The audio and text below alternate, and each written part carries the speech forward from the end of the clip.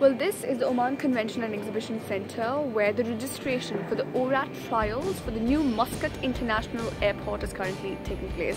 All these people gathered here are all ready to get to the new airport and experience it firsthand.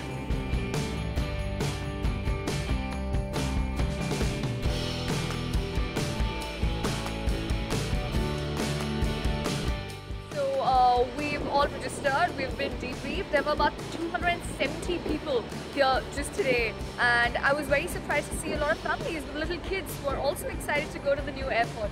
These six Muwasalat buses is what's going to transport us from the convention center to the new airport.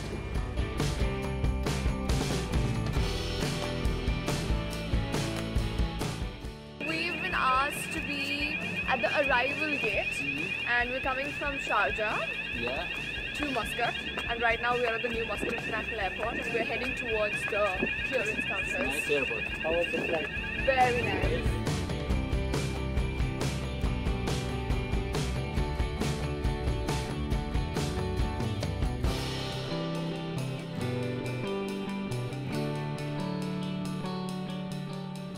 Right, so I was at the immigration counter and this is my passport and my boarding pass is inside.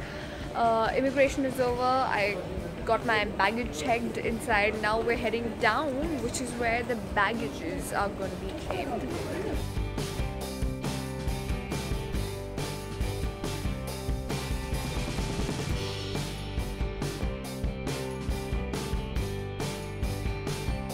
Well, looks like mine was a connecting flight. From here, I am headed towards Kuwait and this is my new boarding pass.